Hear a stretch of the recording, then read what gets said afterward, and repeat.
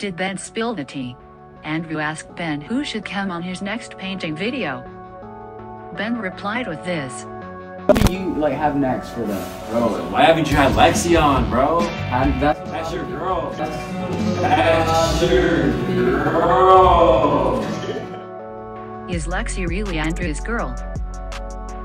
What do you think? Comment down below.